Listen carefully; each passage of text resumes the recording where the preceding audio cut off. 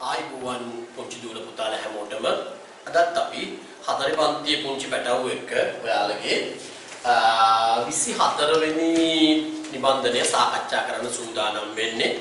එන පැටවුනේ දැන් උන් ඉස්කෝලෙත් පටන් ගන්න ලං වෙලා තියෙනවා. ටියුෂන් ක්ලාස් වල පටන් ගන්න ලං වෙලා තියෙනවා. ගොඩාක් වෙලා පුතේ ලබන සතිය වාගේ වෙද්දි මේ ක්‍රමය නැතුව ඔයාලා පන්ති වලට ගෙන්නගෙනම වැඩ කරන්න පුළුවන් වෙයි කියලා ලොකු විශ්වාසයක් තියෙනවා. ඒ නිසා දැන් ඔන්න ගෙවල් වලට වෙලා නේද? එකම ඉරියව්වක කලකිරීමෙන් හිටපු කාලය අවසන් කරලා ආයෙත් පරණ විදියට යාළුවොත් එක්ක සතුටින් ඉන්න පුළුවන් කාලයක් උදා වෙයි. එහෙනම් පැටවුනේ අපි ආරම්භ කරමු. අද ඔයාලගේ 24 24 හතරේ පන්තියේ පැටවුන්ගේ 24 නිබන්ධනය සාකච්ඡාවට යමු. බලන්න අපි පැටවුනේ මුලින්ම තියෙන්නේ රටාවනේ රටාව අනුව ඉස්තැන් වලට ගැලපෙන සංඛ්‍යා ලියන්න. ඉතින් ඔයාලා හතරේ පන්තියේ දූල පුතාලා නිසා මම එච්චරම අමාරු රටාවන් ඔයාලට දීලා නැහැ. පියවරෙන් පියවර බලාගෙන යන්න පැටවුනේ මේ රටාව දකින්න පුළුවන්ද කියලා. බලන්න පුතේ 1 2 වෙනවා, 2 4 වෙනවා, 4 8 වෙනවා, 8 16 වෙනවා. හරිම ලේසි නේද? ඔව් පුතේ අපි දන්නවා එහෙනම් රටාව ඉස්සරහට යන්නේ මොනවා වෙලාද? ඕ මොකද්ද? දෙකෙන් ಗುಣ වෙලානේ දෙකෙන් ಗುಣ වෙලා එක් වරක් දෙක දෙකයි දෙවරක් දෙක හතරයි හතර වරක් දෙක අටයි අට වරක් දෙක 16යි පැටවුනේ එහෙනම් 16 වරක් දෙක කීයද? ඕ 16 ටිකක් කීයද? 32යි උත්තරේ ගන්න පැටවුනේ 32 32 අපි යමු දෙවෙනි රටාවට බලන්න 50 40 35 25 20 හොඳට බලන්න පුතාලා 50 40 වෙන්නේ මොනව වෙලාද? 40 35 වෙන්නේ මොනව වෙලාද? 35 25 වෙන්නේ 25 20 වෙන්නේ. අන්න එහෙම ඉස්සරහට මොකෝ වෙන්නේ? 50 40 වෙන්නේ පැටවුනේ කීයක් අඩු වෙලාද? 10ක් 40 35 වෙන්නේ කීයක් අඩු වෙලාද? 5 35 25 වෙන්නේ 10ක් අඩු වෙලා. 25 20 වෙන්නේ 5ක් අන්න බලන්න. අන්තරය වෙනස් වෙවි යන්නේ බලන්න පැටවුනේ. 10ක් අඩු වෙනවා 5ක් අඩු වෙනවා 10ක් අඩු වෙනවා 5ක් අඩු වෙනවා. එහෙනම් ඊළඟ පියවරේදී අඩු වෙන්නේ කීයද පුතේ 10ක් අඩු වෙනවා 20න් 10ක් අඩු වුණාම උත්තරේ කීයද? 10යි අදාගන්න පැටවු. 10යි ඉන් පස්සේ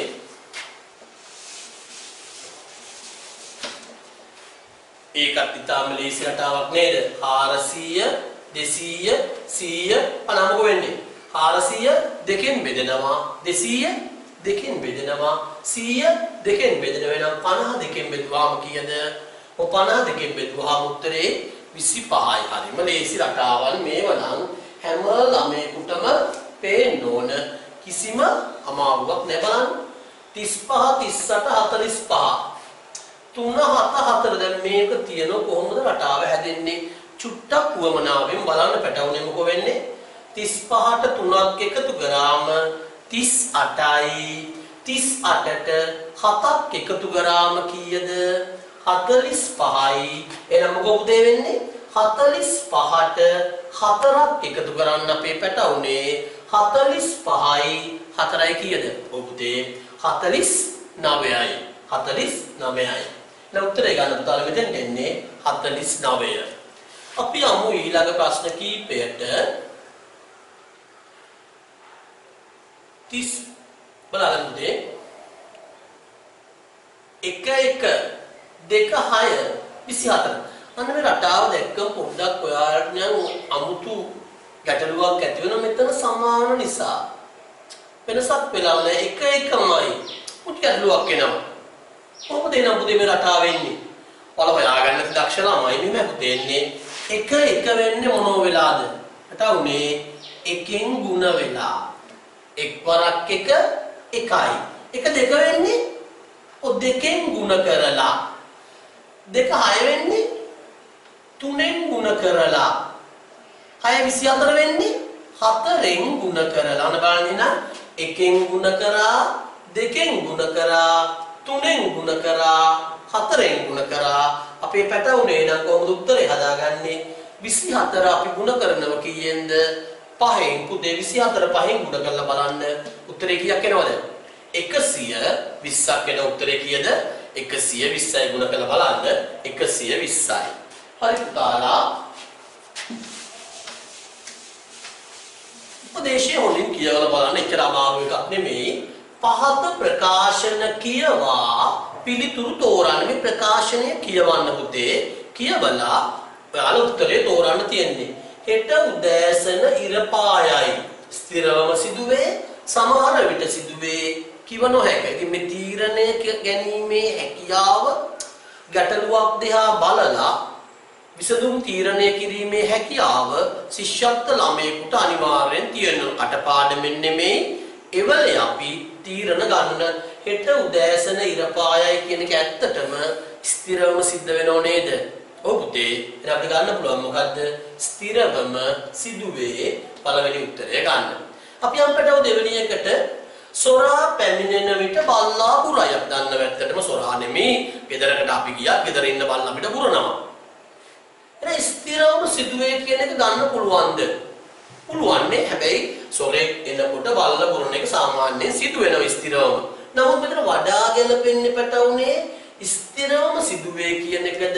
බොහෝ විට සිදුවේ කියන එකද? හිතලා බලන්න. තර්ක කරලා බලන්න. අපිට තේරෙනවා මොකද්ද? සමහර විටක ස්ථිරවම කියන එක හරියටම තීරණය කරන්න බෑනේ සමහරට. බලට නිින්ද ගිහිල්ලා ඉන්නත් පුළුවන්.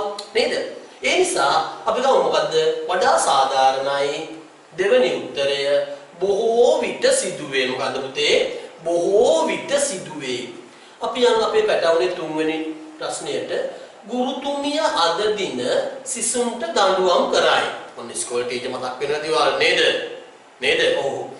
ගුරුතුමිය අද දින සිසුන්ට දඬුවම් කරයි. ඒක නම් ඉතින් ඇත්තටම ටීචර්ගේ හැටියටනේ ඒක වෙනස් වෙන්න පුළුවන්.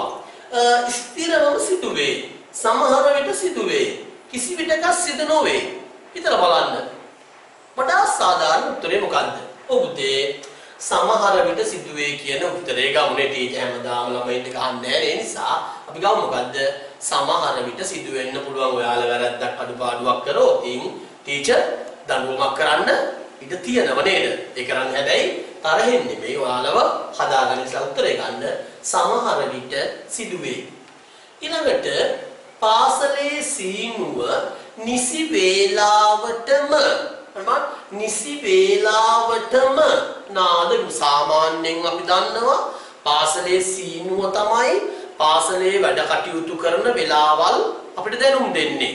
වැඩක් පටන් ගන්න වෙලාව, ඒ දේ අවසන් කරන වෙලාව අපිට දැනුම් දෙන්නේ සීනුව. හැබැයි නිසි වේලාවටම. ඒ නිසා අපි ගමු.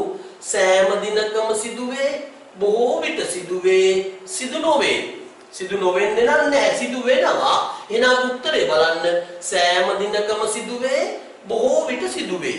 ඒ දෙකෙන් මොකක්ද අපි තර්කානුකූලව හිතලා හැබැයි නිසි වේලාවටම කිව්වම් පුතේ සමහර විටක විනාඩියක් ඒ විනාඩි දෙකක් ඒ වගේ කාලයක් එහාට මෙහාට වෙන්න පුළුවන් නේද?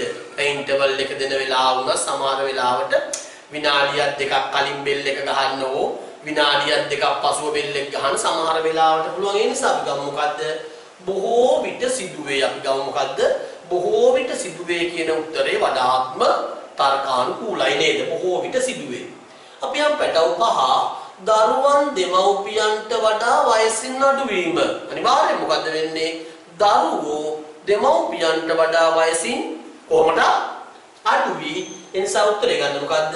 ස්ථිරවම සිදුවේ මොකද්ද? ස්ථිරවම සිදුවේ. බලන්න පැටවුනේ ඊළඟ කොටස දැන් අද මේ මුල් කොටස අපි දාලා තියෙන්නේ එක රටාවකින් එක ක්‍රමයකින් ප්‍රශ්න කීපයක් එක තැන සාකච්ඡා කරනවා. ඇයි එහෙම සාකච්ඡා කරන්නේ? එහෙම එකම රටාවකින් ප්‍රශ්න කීපයක් එකවර සාකච්ඡා කරද්දී මොකද වෙන්නේ? හැම ළමයෙකුටම ඒ දේ වැටහෙන්නම ඕනේ. තේරෙන්නම ඕනේ නිසා අපි දැන් මේ එකම රටාවේ ප්‍රශ්න කීපයක් කතා කරමු. මොකද්ද? කොඩි වැල්වල සිද්ධියක් තියෙන්නේ. බලන්න පුතේ රතු කහ නිල් මෙන්න පුතේ එක සෙට් එකක් මොකද්ද? රතු එකයි කහ එකයි නිල් එකයි ආයෙත් මොකෝ වෙන්නේ? රතු කහ නිල් තව සෙට් එකක්. ආයි රතු කහ නිල් තව සෙට් එකක් එහෙනම් මෙන්න පුතේ මම එක සෙට් එකක් වෙන් කරගත්ත ඔයාලා නම් කටුවල පොලේ ලියන්න ඕන මොකද්ද රතු කහ නිල් කියලා. එක සෙට් එකක් ලියාගත්තම එහෙනම් මොකද කරන්නේ? හැමෝම දන්නවා. අංක දාගන්න ඕනේද? කොහොමද මට උනේ අංක දාගත්තේ? ඕ 1 2 3ද නෑ මොකද්ද? 0 නේ බිඳුව. 1 2 අවසානයේ දැන් මොකද්ද? බිඳුව. අපෙන් අහන්නේ පුතේ කීවෙනි එකද? 54 වන කොඩියේ වර්ණය මොකද අපිට උනේ කරන්නේ? නං 54 බෙදුව කීයෙන්ද? එක සෙට් එකක පොඩි තුනක් නිසා දඩාස් ගාලා මේක තුනෙන් බෙදන්නේ පහට තුනේ ඒවා. කියද? එකයි නේ තුන් වරක් එක තුනයි. දෙකක් ඉතුරුයි. මේ හතර ගෙනාවම කීයද? 24යි පැටවුනේ. 24ට තුනේව කීයද? ඔව් පුතේ. 24ට තුනේව කීයද? 8යි තුන් වරකට 24යි ඉතුරු නෑ නේද? අපිට උත්තරේ සොයා ගන්න වැදගත් වෙන්නේ මේකේ පිළිතුරු සොයා ගන්න වැදගත් වෙන්නේ මේ ලැබිච්ච උත්තරයද? මෙන්න මේ ඉතුරු ගානද පැටවුනේ. අපිට වැදගත් වෙන්නේ මේ ඉතුරු ගාන නේද එනමුද ඉතුරු බිඳුවක් නම් මොකද්ද? මෙතන අපි බිඳුව සොයාගෙන යන්න. මොකද උත්තරේ? නිල් පාට. මොකද්ද? නිල් පාට. නිල්. අපි යමු. දෙවෙනි ප්‍රශ්නය. බලන්න. ඔබ තියෙන රටාව නිල් නිල් රතු නිල් නිල් රතු නිල් නිල් රතු එන එක සෙට් එකක් අල්ලගන්න මේ. අර වගේ මාක දාගන්න 1 2 බිඳුව. අහන්න කීවෙන එකද? 62 පුතේ මොකද අපි කරන්නේ නම්? 62 බෙදන්න කීයෙන්ද? එක සෙට් එකක තුනක් නිසා 62 තුනෙන් බෙදන්න. ඉපණි බෙදමු. 6ට තුනේවා දෙකයි දෙවරක් තුන 6යි අඩු කළාම උදේ බිඳුවයි මේ දෙක ගන්න දෙකට තුනේ ඒවා නැති නිසා බිඳුවයි නේද? අඩු කළාම තියෙන දෙකයි. එතන ඉතුරු වෙන ගාන කීයද? ඉතුරු සංඛ්‍යාව දෙකක් නිසා මෙතන දෙක සොයාගෙන යන්න මොකද්ද? දෙක තියෙන්නේ මෙතන. එන උත්තරේ ගන්න මොකද්ද? නිල්.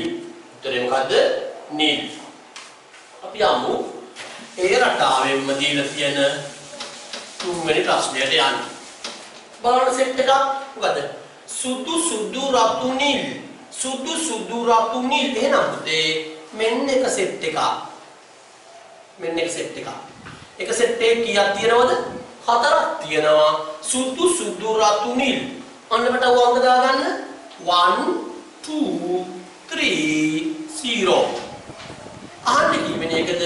43 නිසා. ඔයාලා 43 බෙදන්න කියද පැටවුනේ? 43 බෙදන්න 1 2 3 4 හතරෙන් බෙදලා බලන්න. හතරට හතර ඒවා එකයි. අඩු කරාම බිඳුවයි 3 ගන්න. තුනට හතරේ වෙනද නිසා බිඳුවයි අඩු කරාම ඉතුරු වෙනෝ කීයක්ද? 3ක් පැටවුනේ ඉතුරු තුනක් නම් ඔයාලා තුන්වෙනි එක සොයාගෙන යන්න මොකද්ද? රතු. උත්තරේ මොකද්ද? රතු. උත්තරය රතු. අපි යමු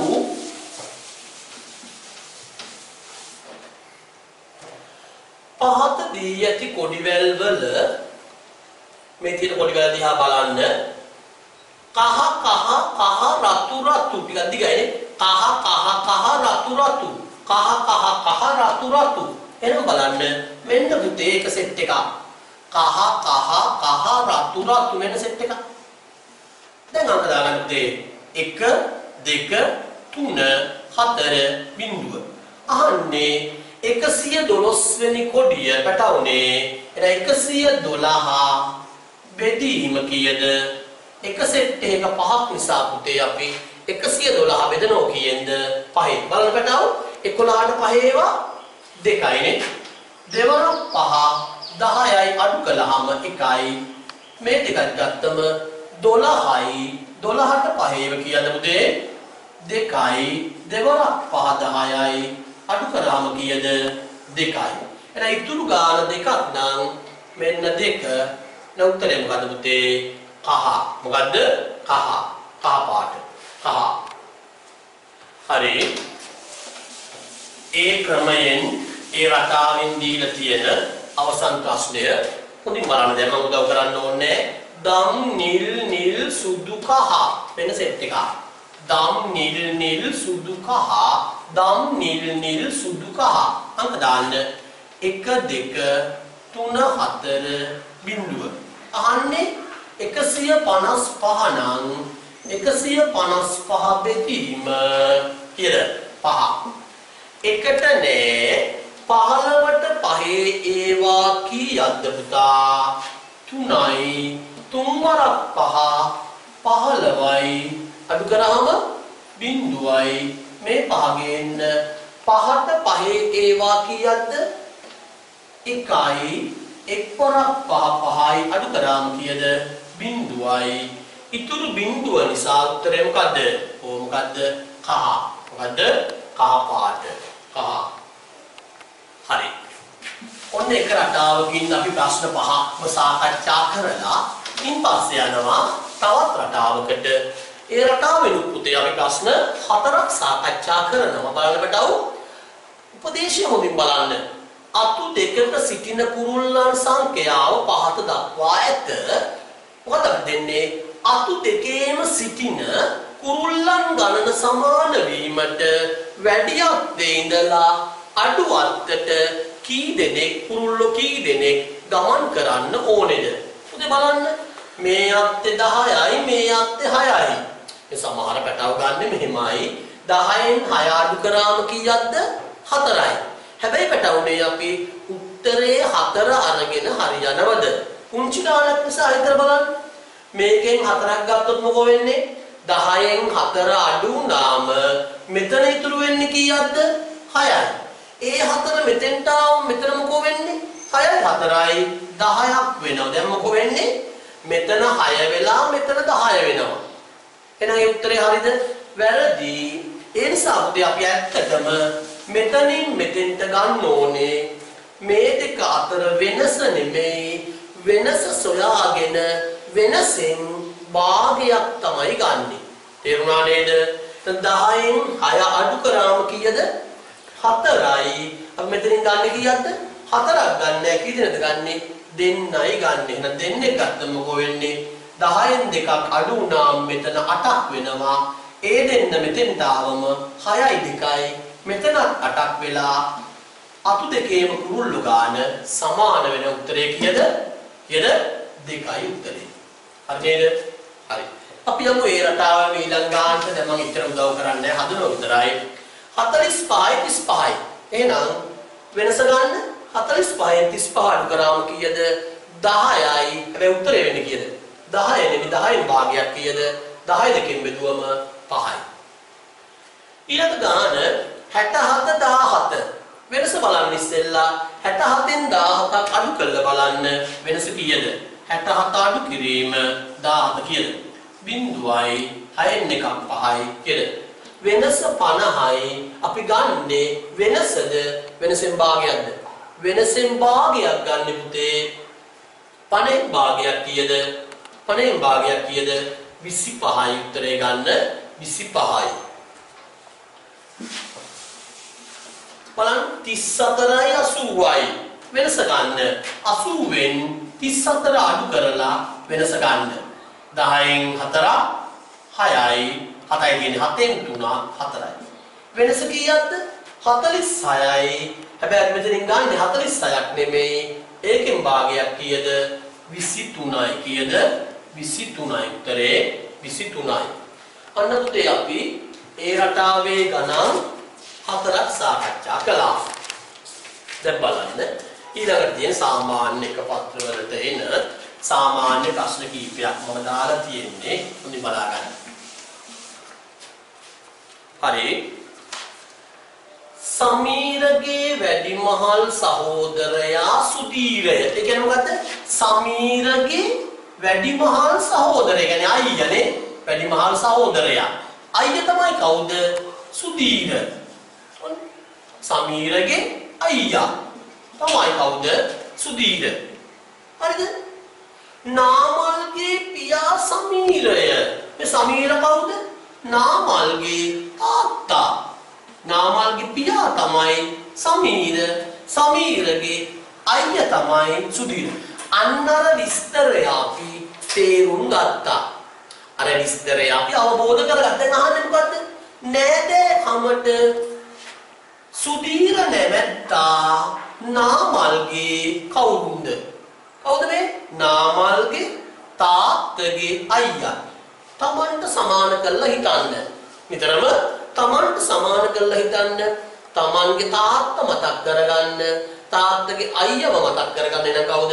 තාත්තගේ අයියා කවුද? කවුද? ඔව් කවුද? මහප්පා. කවුද? මහප්පා. දෙවෙනි උත්තරය. හරිනේද? ඊගාවට පහත රූප වලින් දැක්වෙන ද්‍රව්‍ය කාණ්ඩ කීයකට වෙන් කරන්න පුළුවන්ද? වෙන් කරන්න පුළුවන් කාණ්ඩ ප්‍රමාණය අහන්නේ සරල ප්‍රශ්නයක්.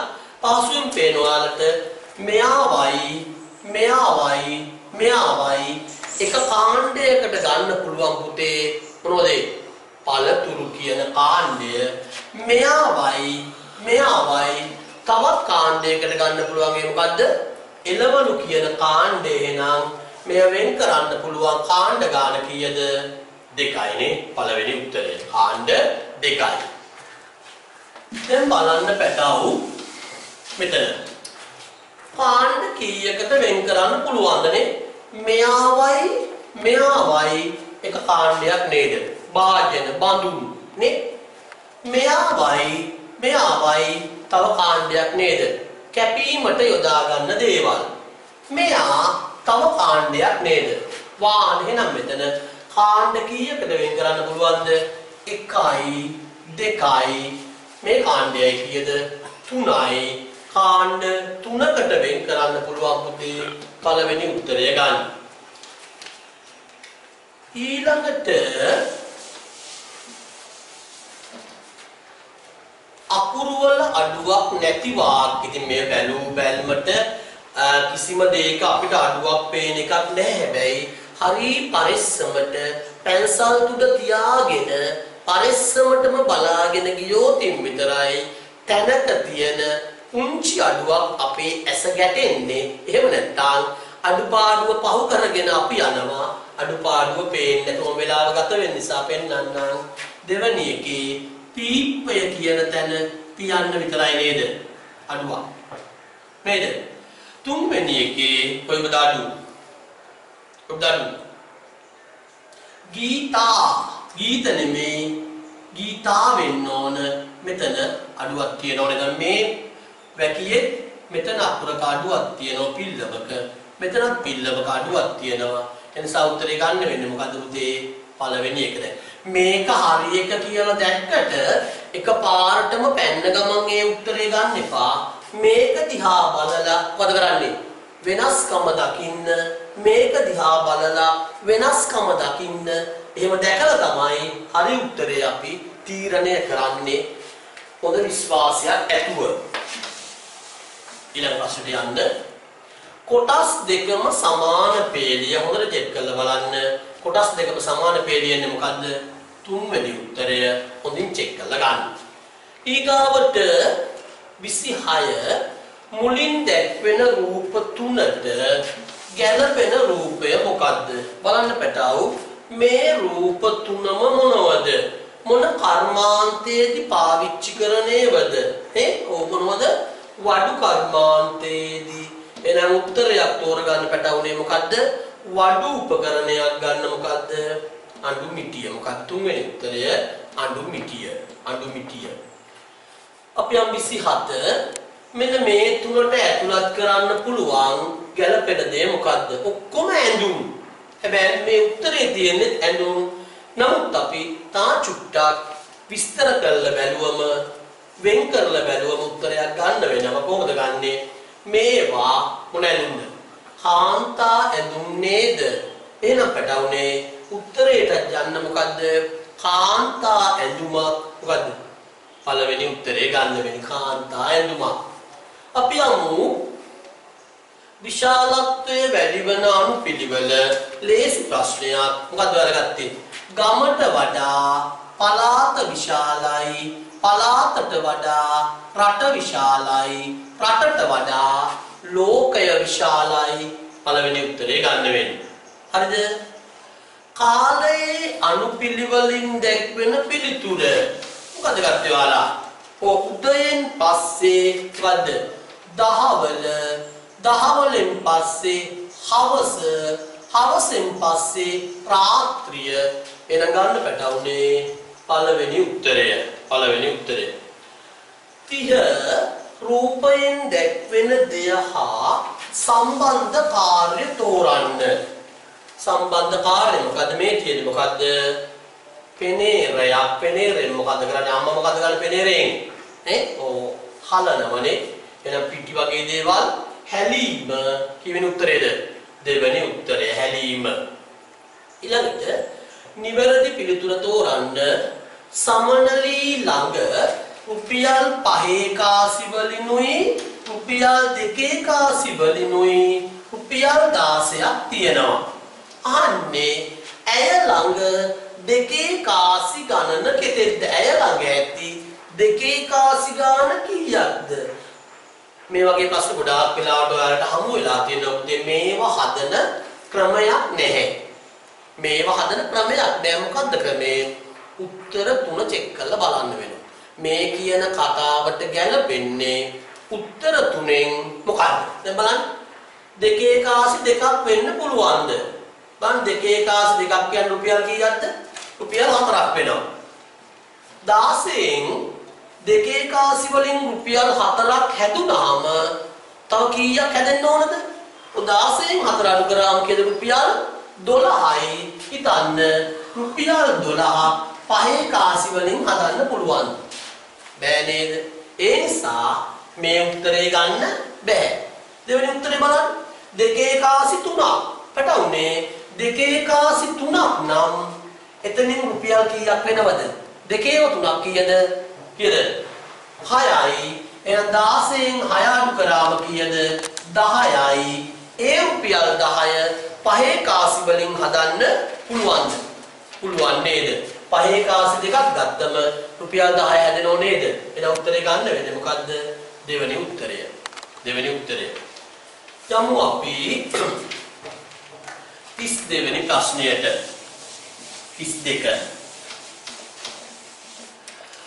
අවුරුද්දට දවස් 365කි සතියකට දවස් 7කි ඒ අනුව අවුරුද්දකට සති කීයක් තිබේද නේද? අවුරුද්දකට දවස් 365යි සතියකට දවස් 7යි එහෙනම් අවුරුද්දක සති කීයක් තියෙද? හරිම සරලයි. මොකද කරන්නේ? 365 හතෙන් බෙදන්න ඕන නේද? බලන්න පුතේ. 365 හතෙන් බෙදලා 36ට හතේව කීයක්ද 5යි පස්වරක් 7 35යි අඩු කළාම 1යි 15ට හතේව 2යි දෙවරක් 14යි 1යි සති කීයක් එනවද? සම්පූර්ණ සති 52ක් එනවා. තව එක දවසක් ඉතුරු වෙන වෙන උත්තරේ ගන්න වෙන්නේ කීයද? 52 52 අපි යමු ඊළඟ ප්‍රශ්නයට යන්න.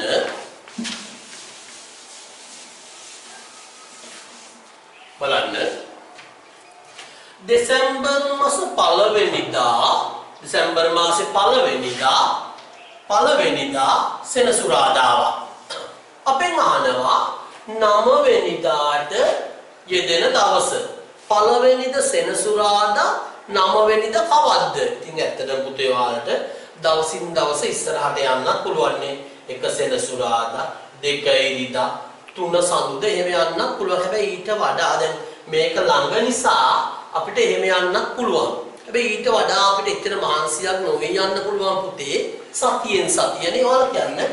එක පළවෙනිද සෙනසුරාදා නම් පුතේ ලබන සෙනසුරාදා දිනය මොකක්ද? ඔය ලබන සෙනසුරාදා වෙන්නේ පුතේ මේ එකට හතක් එකතු වෙන්න ඕනේ නේද? 1යි 7යි කීයද?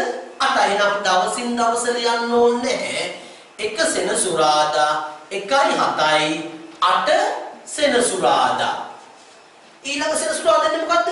8යි 7යි 15 අන්නේ පුංචි ක්‍රමවලට යන්න. හරි එහෙනම් උදේ 8 සෙනසුරාදා නම් පැටවුනේ අපිට ගන්න පුළුවන් නේද 9 කවද්ද?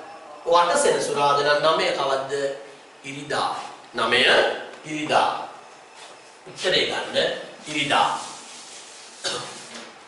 බලන්න පැටව මිනිසුන් දෙදෙනෙක් එකම වේලාවක එකම තැනකින් පටන්ගෙන පැය හතරක් ඇවිද ගිය මුළු දුර කිලෝමීටර් 8යි මෙයාලා කිලෝමීටර් 8ක් ඇවිදගෙන යනවා පැය කීයක් ගත වෙනවද පැය 4කදී මෙතන පුංචි දෙයක් ඔයාලා පටලවා ගන්න තැනක් තියෙනවා මෙතන කියනවා.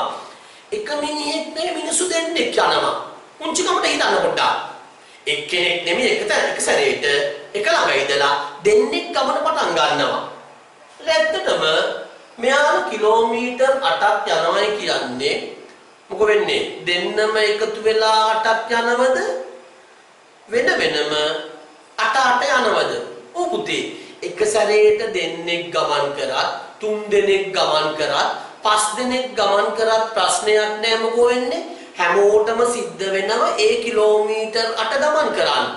එහෙනම් මේකේ දෙන්නෙක් කියන කතාව ඇත්තටම වැදගත් වෙන්නේ නෑ. දෙන්නෙක් එකට ගියත් තනියම ගියත් මොකෝ වෙන්නේ? කිලෝමීටර් 8ක් ගමන් කරනවා. හැබැයි කිලෝමීටරට ගමන් කරන්න පුතේ පැය 4කදී. එහෙනම් එක්කෙනෙකුට මොකෝ වෙන්නේ? පැය 4කදී කිලෝමීටර් 8ක් ගමන් කරන්න වෙනවා. එහෙනම් අපෙන් අහන්නේ මොකද්ද? එක් මිනිසෙකු පැයක් තුල එක් මිනිසෙකු කියන කතාව වැදගත් වෙන්නේ නැහැ. එහෙනම් පැයක් තුල කොච්චර යනවද?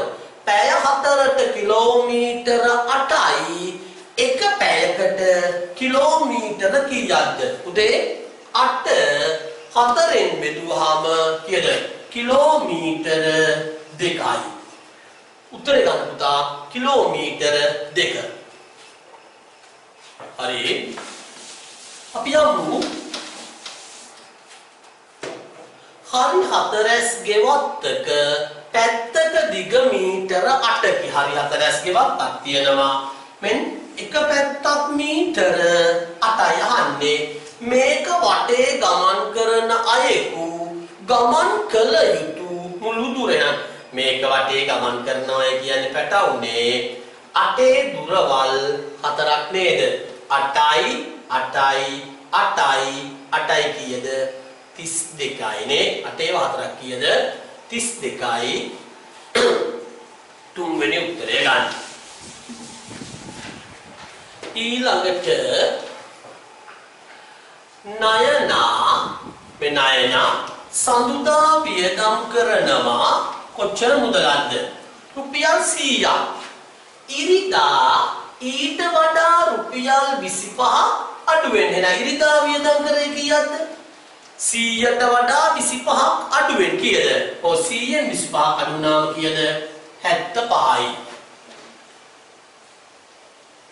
අඟහරුවාදා ඊට වඩා රුපියල් 25ක් වැඩියෙන්ද? අන්න ඊට වඩා කිව්වම පොඩි ප්‍රශ්නයක් එනවා ඔයාලට. මේකට වඩාද මේකට වඩාද කියලා. නමුත් අපි ගමු මොකද්ද? මේ මේ දිනේ දීපු නැති නිසා අපි ගමු මොකද්ද?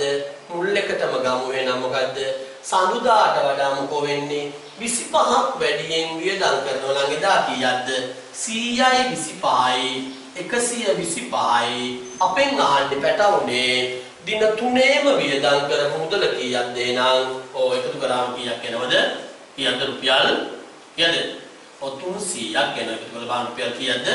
300ක් ඒ කියන්නේ දෙවෙනි උත්තරය ගන්න. රුපියල් 300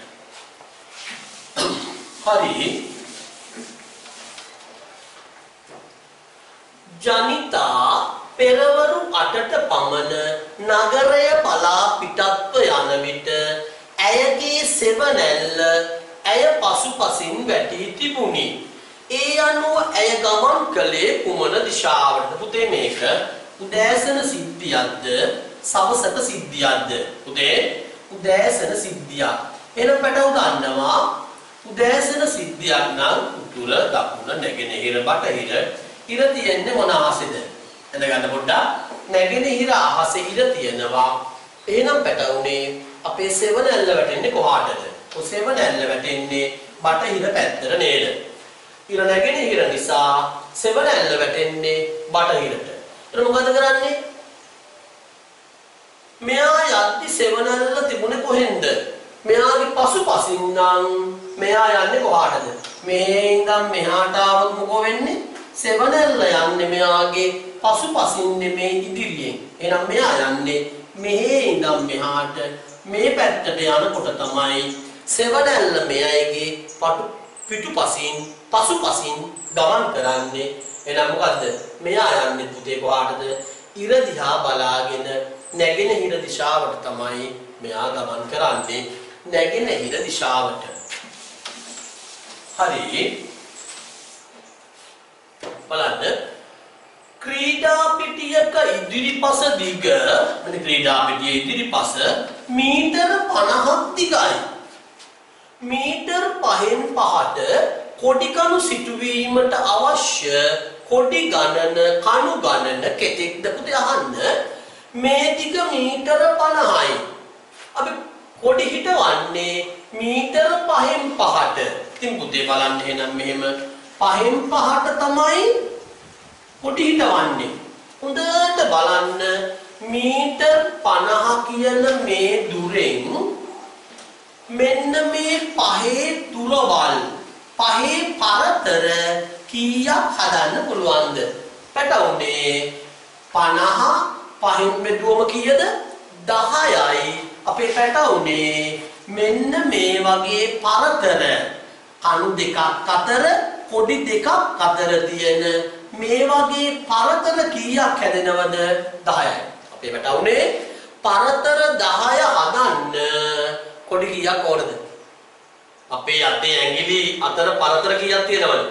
1යි 2යි 3යි 4යි. මේ පරතර 4 හදලා තියෙන්නේ ඇඟිලි කීයකින්ද?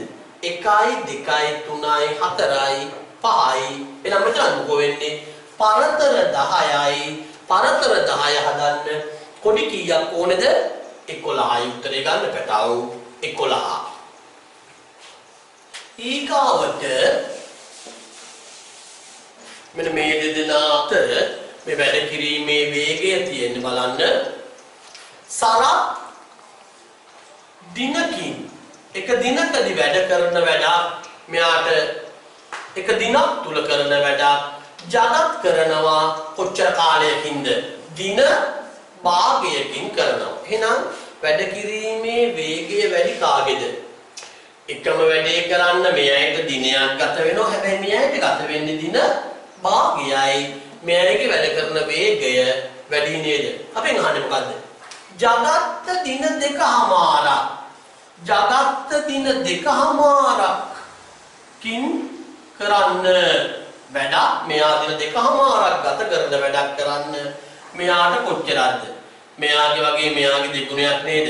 මෙයාගේ භාගෙට මෙයාගේ එක නම් මෙයාගේ දෙකමාරට මෙයා කීයද? දෙකමාරේව දෙකක් කීයද පුතේ? පහයි. එහෙනම් මෙයාට දින දෙකමාරකින් කරන වැඩේට මෙයාට ගත වෙනව දින කීයක්ද? පහක්. එහෙනම් උත්තරේ ගන්න සරත් දින කීයක් ගත වෙනවද? පහයි. අපි යමු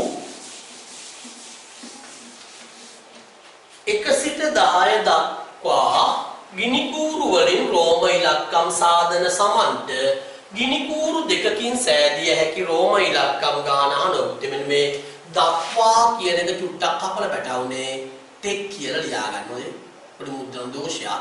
තෙක් කියලා ලියා ගන්න. එකේ ඉඳන් 10 තෙක් එකේ සිට 10 තෙක් කිව්වම කො වෙන්නේ එකත් අයිති 10ක් අයිති. එකත් අයිති 10ක් අයිති. ඒක බලා ගන්න පුතේ. රෝම ඉලක්කම් හදන්නේ අපි ගිනි කූරු වලින් අහන්නේ ගිනි කූරු දෙකකින් එහෙනම් අපි රෝම ඉලක් රෝම සංඛ්‍යා ටික දන්නවනේ නේ ඉතින් බලන්න ගිනි කූරු දෙකක් පාවිච්චි කරලා එක දැන් දෙක හදන්න පුළුවන් ගිනි කූරු දෙකකින් මේ තුන බෑ හතර බෑ පහ ගිනි කූරු දෙකකින් පුළුවන් හය බෑ හත බෑ අට බෑ නවය බෑ 10 හදන්න පුළුවන් ගිනි කූරු දෙකකින් එන සංඛ්‍යා කීයද? දෙක පුළුවනි, පහ පුළුවනි, 10 පුළුවනි උත්තරේ කීයද? 3යි නේ. සංඛ්‍යා තුනක් ගිනිකුරු දෙකක් යොදාගෙන හදන්න පුළුවන් සංඛ්‍යා තුනක් තියෙනවා එකේ ඉඳලා 10ට ලියනකොට. හරි නේද? ඊළඟ ප්‍රශ්නය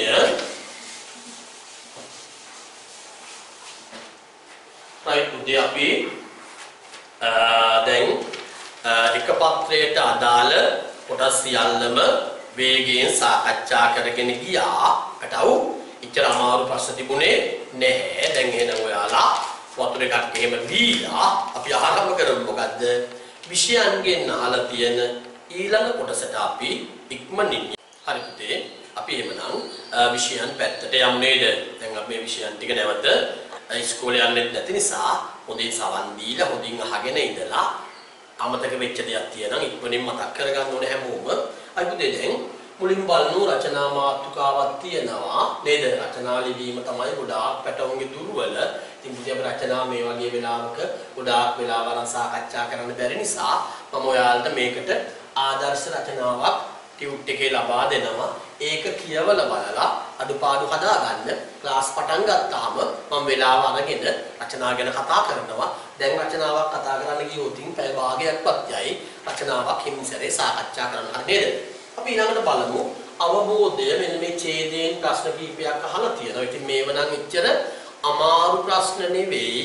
හැබැයි රත්තරන් පැටවුනේ හැමෝම තේරුම් ගන්න උත්තර සොයා ගැනීම ලේසි වුණාට හරීම වැදගත් වෙනවා ඔයාලා උත්තරේ ලියන විදිය. අකුරු වල හැඩය, පිරිසිදුකම, පිල්ලම් මේ හැම දෙයක්ම ගැන හිතලා ගොඩක් පරිස්සමට ගොඩක් උවමනාවෙන් තමයි පුතේ ලියන උත්තරේ ලියන්න ඕනේ. බලන්න පළවෙනි ප්‍රශ්නය.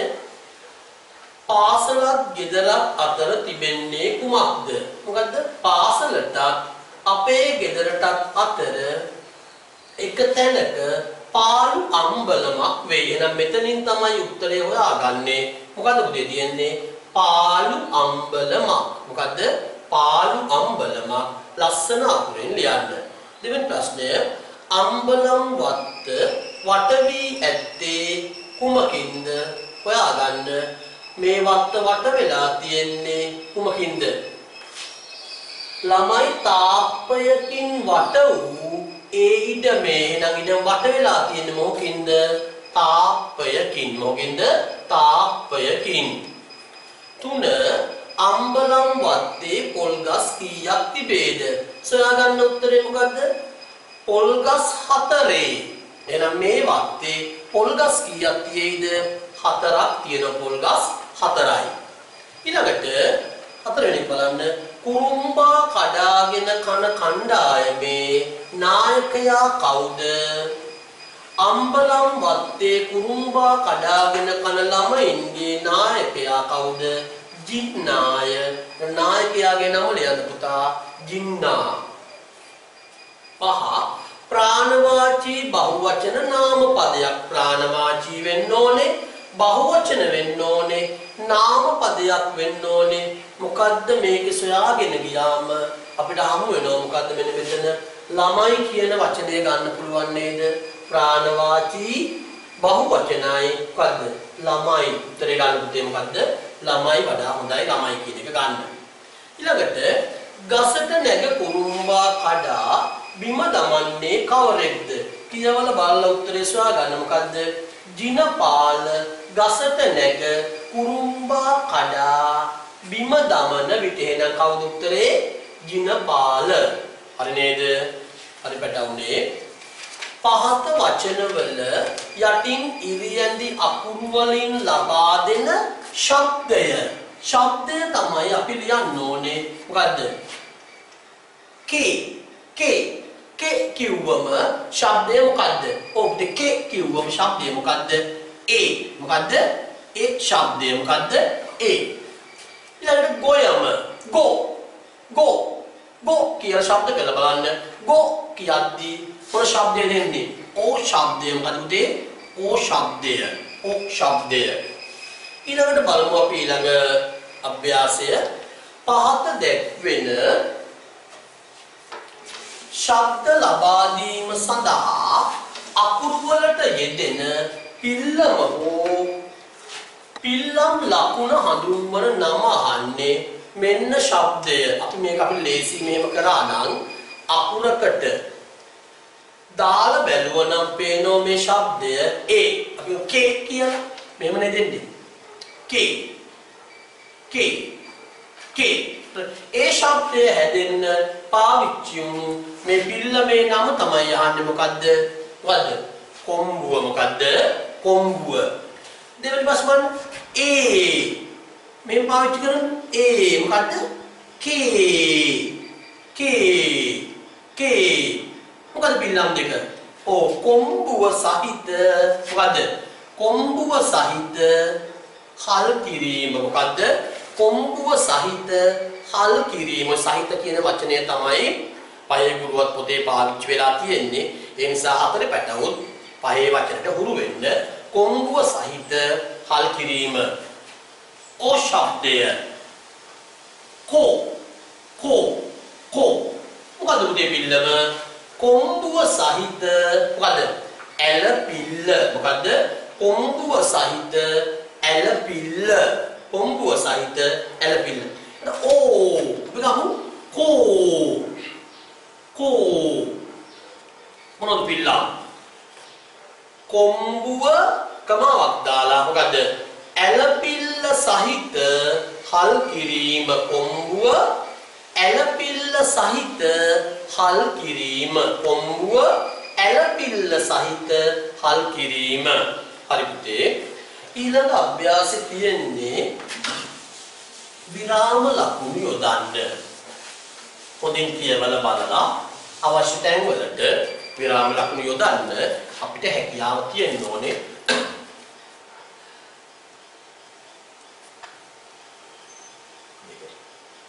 රත්නපාල අනුරාධපුරයේ සිරි නැරඹීමට ගියේය. ඉතින් බලන්න මේ තැන්වල පිල්ලමක් අවශ්‍ය වෙනවද? නෑ. මොකද ගියේය වැකි අවසානයේ තිත යෙදුවනම් හරි.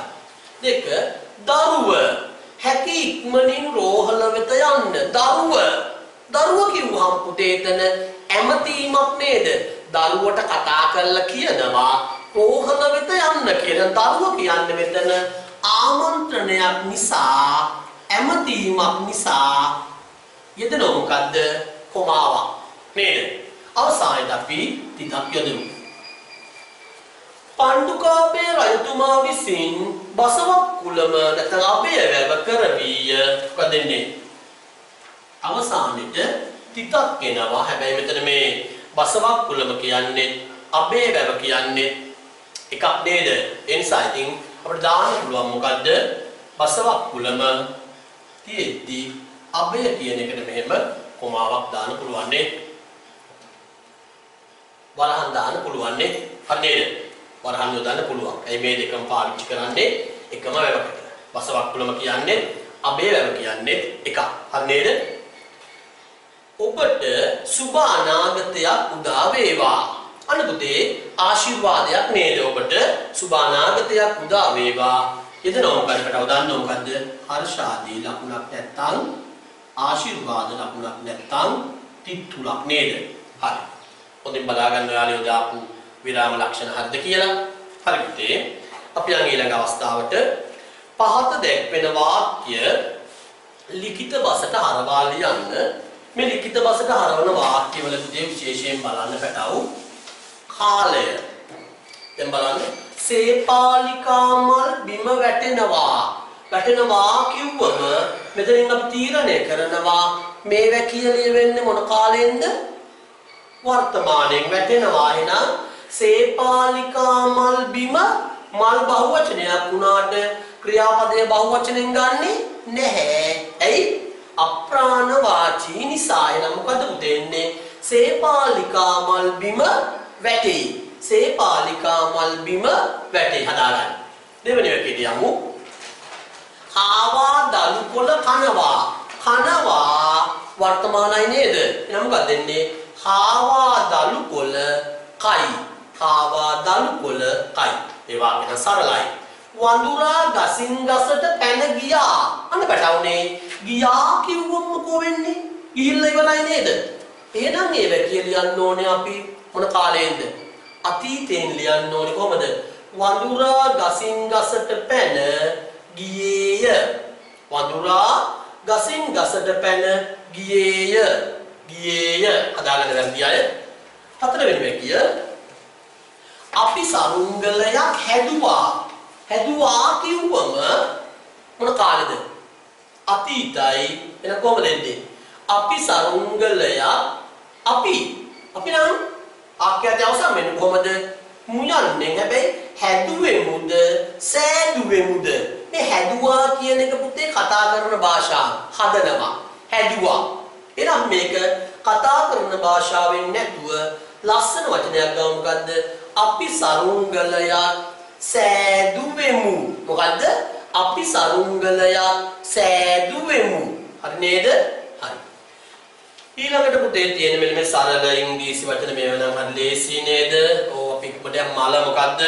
flower අඹ mango ඒව දන්න ඔයාලා. මේ වාක්‍ය ටික what is this? මොකද්ද? මේ කුමක්ද? නේද? My name is රුවන් මොකද්ද? මගේ නම? රුවන් මගේ නම? රුවන් ඒව දන්නවා. Book. Book පොත bed and නේද? ඒව ලේසි.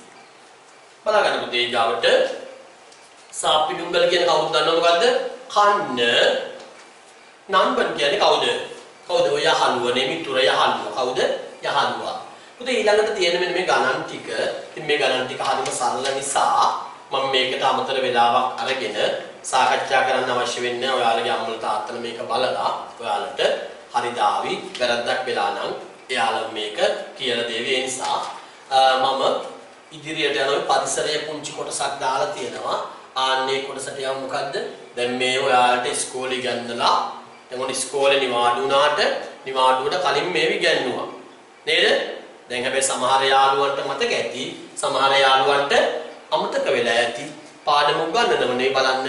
ඔයාලා ලියපු දේ හරියටම හරිද කියලා බලලා වැරද්දක් වෙලා නම් මකල හදාගන්න වගේම සිතිනුත් නිවැරදි වෙන්න රතු පැහැති පසුබිම මොකද අපි කිව්වේ රතු පැහැති පසුබිම මොකද්ද පුතා ජාතික අභිමානය මොකද්ද රතු පැහැති පසුබිම මොකද්ද ජාතික අභිමානය හදාගන්න ජාතික අභිමානය ඊළඟට කහ පැහැති සිංහ රූපය මොකද්ද සංකේතවත් වෙන්නේ සිංහල ජාතිය මොකද්ද සිංහල ජාතිය සිංහල ජාතිය ඊළඟට තැඹිලි පාට හා කොළ පාට තීරු මේ තීරු දෙක අපි දැන් පරම විෂය නිර්දේශනා මොකද කරේ? ඔය තැඹිලි පාටෙන් දෙමළ කොළ පාටින් මුස්ලිම් කියලා දැන් අපි ඒ දෙකම එකකට අරන් තියෙන්නේ මොකද්දනේ? දමිළ මුස්ලිම් ඇතුළු අනෙකුත් ජාතීන් මොකද්ද මේ කොටසෙන් සංකේතවත් වෙන්නේ? දමිළ මුස්ලිම් ඇතුළු අනෙකුත් ජාතීන් වැදනම් හදාගන්න. දමිළ මුස්ලිම් ඇතුළු අනෙකුත් ජාතීන් හතර මුළු කොඩියම වට කර යෙදූ මෙන්න මේ කොටස මේ කහ පාට තීරුවෙන් සංකේතවත් වෙන්නේ මොකද්ද? ලියාගන්න පුතේ. කොඩියේ නිමාව මෙන්ම ಜಾතීන් අතර එකමුතු බව මොකද්ද? කොඩියේ නිමාව මෙන්ම ಜಾතීන් අතර එකමුතු බව බලන තමන් ලියපු උත්තරේ හරියටම ලියවිලාද කියලා කොඩියේ නිමාව මෙන්ම ජාතීන් අතර එකමුතු බව. ඊට බලන්න බෝ කොළ හතර බෝ පත් සතර මේ තියෙන මේ තියෙන මොකද්ද? මෙත්තා, කරුණා, මුදිතා, උපේක්ඛා නැත්තම් උපේක්ෂානේ යන සතර බ්‍රහ්ම විහරණනේ මෙත්තා, කරුණා, මුදිතා, උපේක්ඛා යන සතර බ්‍රහ්ම විහරණ. හරි නේද? ඔක්කොම හරිනම් ඔයාලගේ මතකය හොඳයි. අපි යනවා පුතේ රාජ්‍ය ලාංඡනයට පුන් කලස. පුන් කලසෙන් සංකේතවත් වෙන්නේ මොකද්ද? මොකද්ද? සෞභාග්‍ය හා පරිපූර්ණ බව මොකද්ද? සෞභාග්‍ය හා පරිපූර්ණ බව. සෞභාග්‍ය හා පරිපූර්ණ බව. දෙක වී කරල් මෙතියෙන් පුන් කලසෙන් දෙපැත්තටයි පහළටයි ගමන් කරන වී කරල් මොකක්ද තේරුම? ස්වයංපෝෂිත බව හා සස්ත්‍රීකත්වය මොකද්ද? ස්වයංපෝෂිත බව හා සස්ත්‍රීකත්වය ස්වයංපෝෂිත බව හා සස්ත්‍රීකත්වය බලගන්න ඊළඟට කඩුව අතින්ගත් පලාපෙති වටය මැද සිටින සිංහයා මොකෝ වෙලා තියෙන්නේ? මේ සිංහයයි මේ පලාපෙති දෙකම මේ කොටසම එකක් හැටියට තනි තේරුමකට අරන් තියෙන මොකද්ද පුතේ? මොකද්ද හොලියා ගන්න? රට හා විනය ගරුක ජාතිය මොකද්ද? රට හා විනය ගරුක ජාතිය. ඊගාවට ධර්ම චක්‍රයෙන් මොකද්ද? ධර්ම චක්‍රයෙන් ධර්මය. ධර්ම චක්‍රයෙන් ධර්මය ඊළඟට ඉර හඳ දෙක මොකද්ද? සදාතන පැවැත්ම. මොකද්ද? සදාතන පැවැත්ම. සදාතන පැවැත්ම. හරි නේද පුතාලා?